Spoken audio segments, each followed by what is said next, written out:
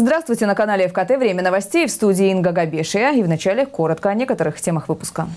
Главное – это качество и безопасность. Сочинский общепит готовится встречать гостей Мундиаля. А сочинских волонтеров научат, как справляться с футбольными болельщиками. Стартовал второй этап обучения добровольцев. В Краснодарском крае вступил в силу закон о дополнительных мерах по защите прав дольщиков, на что теперь стоит обратить внимание.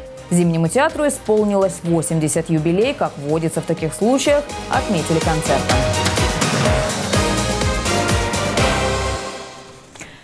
Кубанские курорты готовятся к открытию сезона. Состояние пляжа Анапы сегодня оценил губернатор Краснодарского края Вениамин Кондратьев.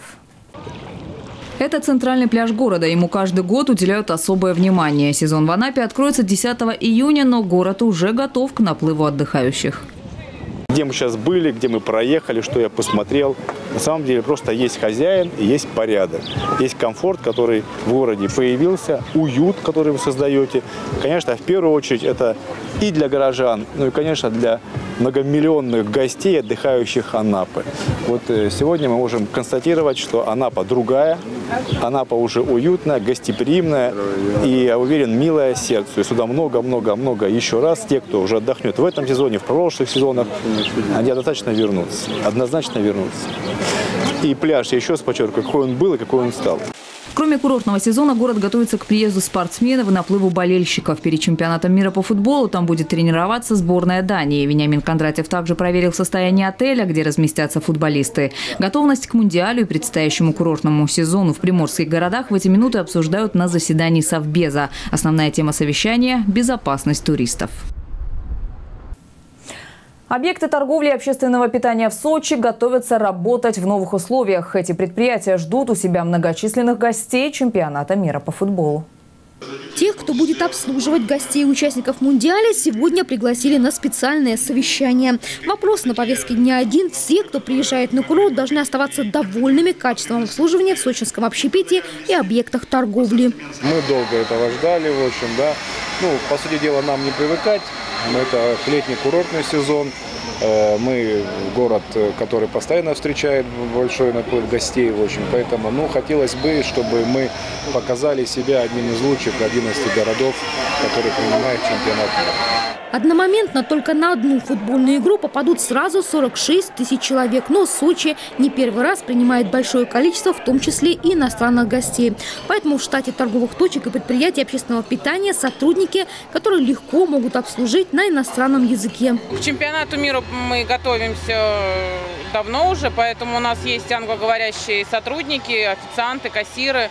И, а те, кто плохо знают, тех обучаем хотя бы каким-то минимальным стандартным словам. Речь на совещании шла не только о качестве обслуживания клиентов, но и об измененном графике работы. Например, завозить товар придется в ночное время, поскольку днем многие улицы Сочи будут просто перекрыты.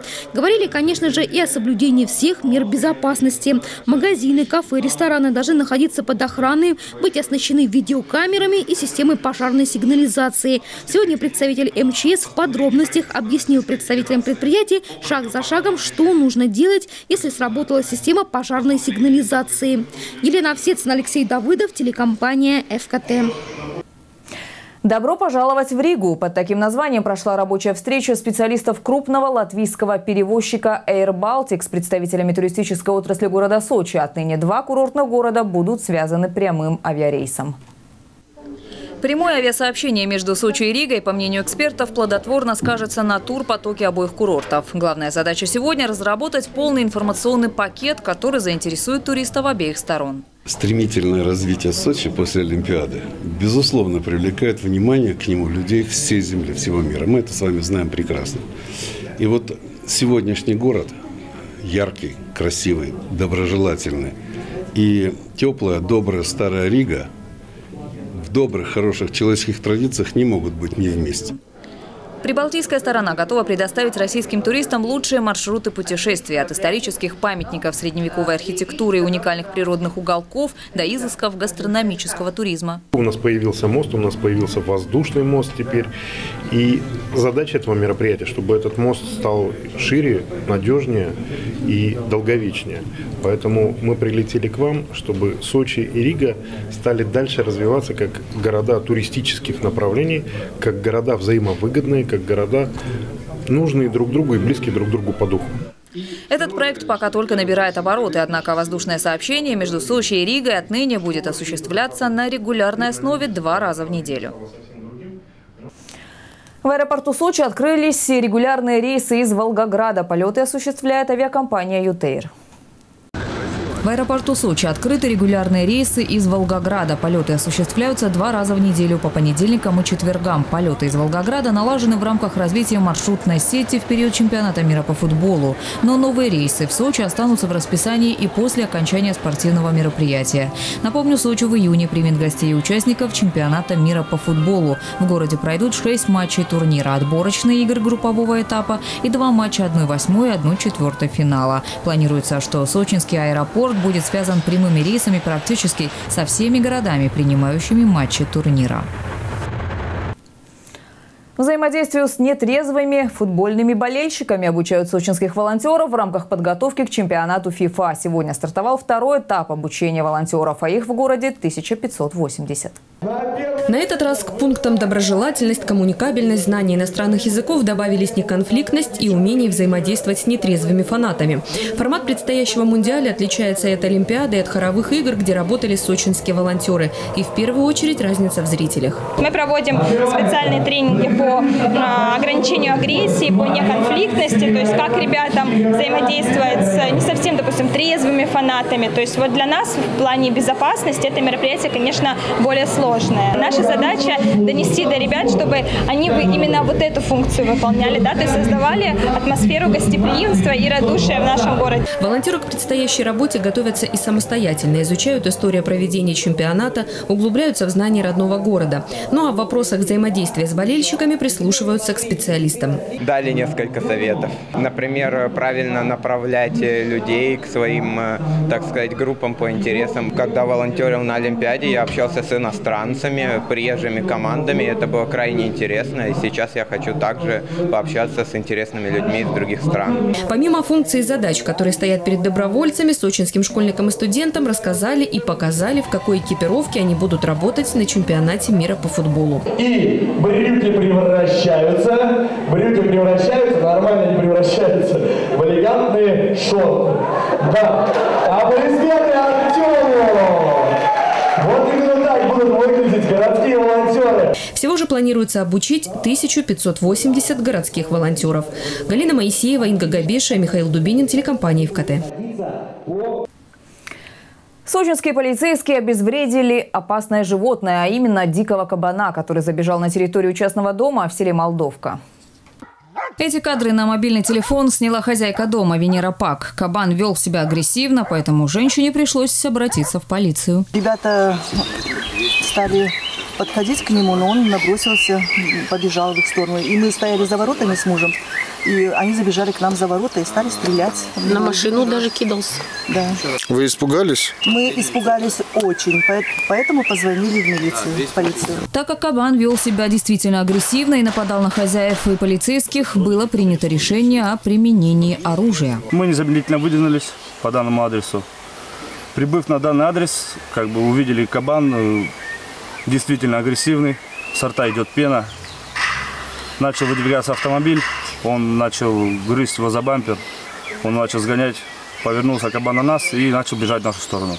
Мы открыли огонь стабильного оружия. Полицейские застрелили угрожавшее безопасности людей животное. Никто из жильцов садового товарищества не пострадал. К другим новостям. ДТП произошло сегодня в первой половине дня в Мацестинском тоннеле. Столкнулись иномарка и ВАЗовская 12 модель. По некоторым данным, водитель ВАЗа сам стал жертвой. В соцсетях прошла информация, что ДТП спровоцировала более ранняя авария. Просто ее участники не выставили знаки на дорогу. В итоге «Лада» въехала в иномарку, та в бетонный бордюр. В отечественной машине находился ребенок. Его состоянию, судя по комментариям пользователей, сейчас ничто не угрожает. Краснодарском крае вступил в силу закон о дополнительных мерах по защите прав дольщиков. О том, как новый документ поможет защитить жителей региона, которые инвестировали свои средства в строительство многоквартирных домов, нам рассказал заместитель директора Департамента строительства администрации города Сочи Михаил Неудачный. Материал Ольги Десятовой. В Краснодарском крае вступил в силу закон о дополнительных мерах защиты прав обманутых дольщиков. Новый закон должен помочь зачистить строительный рынок от мошенников и поддержать тех, кто стал их жертвой – обманутых дольщиков. Принятым э, и подписанным губернатором, обозначенным мною законом, предусмотрено, что инвестор э, может э, удовлетворять требования граждан как покупкой квартир для, в, этом муниципальном образовании, либо по согласованию в иных. Краевой закон поддержит и те компании, которые будут доделывать работу за недобросовестными застройщиками. Новые инвесторы в качестве компенсации смогут без торгов получить участок земли. Его стоимость не должна превышать расходов на достройку многоквартирного дома. Большие изменения грядут и в федеральном законе. Дорожная карта рассчитана до 2020 года и будет реализована в три этапа. Так, средства дольщиков теперь будут аккумулироваться в банках и на так называемых эскроу-счетах. Эскроу-счет – это та, тот способ взаимодействия участников сделок, по которому сразу напрямую денежные средства не переходят от дольщика э, застройщику. Э, деньги будут переводиться, переходить от, доль, от дольщика с этого счета э, застройщика только после э, получения разрешения на ввод в эксплуатацию объекта. Ряд изменений вступит в силу уже с 1 июля. Закон вводит дополнительные требования к застройщику. Так, не завершив строительство одной многоэтажки и не получив разрешения на ее ввод, застройщик не сможет получить разрешение на возведение других объектов. Кроме того, привлекать средства дольщиков смогут только те строители, которые имеют опыт в жилищном строительстве не менее трех лет. Для того, чтобы привлечь эти денежные средства, на начало привлечения граждан, э, застройщик должен иметь на счету подтвержденных на счету, подчеркиваю, а не иных финансовых инструментов, э, денежные средства в размере не менее 10% от, сметной, от задекларированной сметной стоимости этого объекта. Значит, денежные средства застройщик не может никуда отвлекать только на стройку. Он не может не выкупать, не участвовать этими средствами ни в каких иных коммерческих э, мероприятиях, только стройка. Изменения в краевом и федеральном законах позволят не только помочь быстрее вводить в эксплуатацию долгострои, но и допускать появление новых. Сегодня в краевом реестре в Сочи числится 28 проблемных объектов. Это и многоквартирные жилые дома, и коммерческая недвижимость. Не менее 10 будут введены в эксплуатацию уже в этом году. Так, например, известный комплекс «Раз, два, три» на Пластунской уже получил положительное заключение по скорректированной документации. Уже приобретен участок под парковку. Также уже найдены инвесторы по долгостроям компании «Фристайл» и «Зодчий». Ольга Десятого, Михаил Дубинин, телекомпания «ФКТ». Кадры курорту в Сочинском центре занятости сегодня прошла отраслевая ярмарка вакансий. На ярмарке вакансий сегодня были представлены 23 работодателя. Это представители санаторно-курортной отрасли, учреждения сферы здравоохранения, агентства недвижимости, финансовой сферы. Они предлагали работу официантов, поваров, кондитеров, медиков, горничных, риэлторов, менеджеров, банковских специалистов. Всего порядка 100 вакансий. Всего же в банке Центра занятости населения сегодня более 5 тысяч предложений. Кстати, с начала года сюда обратились более 3 тысяч человек, из них более 2 тысяч трудоустроены. Это 66,7% обратившихся. Центр занятости населения города Сочи приглашает безработных граждан принять участие в профессиональном обучении по востребованным вакансиям города Сочи. Это воспитатель, помощник воспитателя, кондитер, э, водитель категории «Д». Обучение бесплатное, во время обучения выплачивается стипендия. Будем рады видеть всех на обучение. Ну а 1 июня в Центре занятости пройдет еще одна ярмарка вакансий. «Ты нужен Кубани». Приглашаются несовершеннолетние сочинцы, которые хотели бы поработать летом. Курортный сезон в Сочи в этом году откроется 26 мая. В этот день по традиции будут организованы разные мероприятия на нескольких площадках в центре города. В 9.00 на набережной реки Сочи начнется легкоатлетическая акция «Забег на короткую дистанцию». На площади перед городским собранием с 10 часов до 19 выставка продажа сезонных цветов и флористических композиций. В парке Черешневый сад с 16 до 19 часов для детей будут организованы мастер-классы от студии «Яралаш», розыгрыш призов, в том числе сертификат на участие в съемках киножурнала. Будут работать мастера по аквагриму. Малышей ждет встреча с любимыми сказочными героями. На площади флаг флага с 16.00 начнется спортивно-развлекательная программа для детей и молодежи. Гостей и жителей Сочи ждут многочисленные площадки активности – спортивные, танцевальные, а также оригинальные фотозоны. В 18.00 на площади перед органным залом пройдет традиционная курортная суббота с участием творческих коллективов концертно-филармонического объединения. С 16 до 18.00 на площади перед художественным музеем на открытой сцене выступят молодежные группы и начинающие солисты. В 15.00 на площади перед библиотекой имени Пушкина стартует литературная программа «Голос поэзии». Выступят не только местные авторы, но и гости из-за рубежа. Это участники литературного фестиваля, который в эти дни будет проходить в Сочи. В 18 часов в арт-галерее «Форд» состоится торжественное открытие указательного знака «Нулевой километр». А на площади перед концертным залом фестивальный в 17 часов стартует праздничный концерт. В программе показ коллекции сочинских модельеров, светодиодное шоу, выступление кавер-группы «Москва-Луна». В 19.30 в Малом театральном зале фестивального состоится премьерный спектакль, подготовленный актерами нового театра Сочи. Зимнему театру исполнилось 80 юбилей, отметили накануне, и, как водится в таких случаях, концертом. Артисты Сочинской филармонии и Санкт-Петербургского театра «Зазеркалье» подготовили представление, которое называется «В поисках царской невесты». Название это перекликается с историей. 80 лет назад на этой же сцене давали оперу римского Корсакова «Царская невеста». Формат, в котором существует зимний, для России необычен. Только в Сочи и в Ялте у театров нет собственных труп. Именно это позволяет курортным городам принимать известных артистов круглый год. Одинаковая и судьба у этих двух концертных площадок. Так, в постсоветский период, или как его еще называют «лихие 90-е», зимний театр практически не работал. Лишь на время высокого летнего сезона сюда заезжали популярные артисты эстрады. Переломный момент наступил, когда город готовился к Олимпийским играм. Здание отремонтировали, изменился и репертуар. Только два э, есть курортных театра, не имеющих собственной притеатральной труппе. Нам важно, чтобы в этом театре было комфортно и зрителям, приезжающим со всей большой, э, да, э, бывшей советской страны, да, ныне э, российской, да, э, и э, театрам, которые приезжают сюда, артистам, а уже через две недели Зимний театр станет главной кинематографической площадкой страны. 2 июня здесь откроют фестиваль «Кинотавр». Народный университет 55 плюс санатория знания ушел на каникулы. Сегодня состоялось заключительное заседание, на котором подведены итоги работы за год. Они сами называют себя студентами Народного университета, несмотря на свои 55+. Позитивные, полные силы уверенности собираются здесь в санатории знания каждую неделю. Мы поставили какую цель? От возраста до жития, возрасту счастья. И вот мы к этой цели уверенно идем. И вы знаете, когда я вижу глаза моих студентов, с каждым занятием они становятся гораздо радостнее и целеустремленнее. Их всех объединяет стремление к познанию чего-то нового, поэтому разнообразие факультетов привлекает еще больше слушателей. А здесь читают лекции по психологии, финансовой и социально-правовой грамотности. Есть также факультет спортивного досуга, иностранный язык и танцы.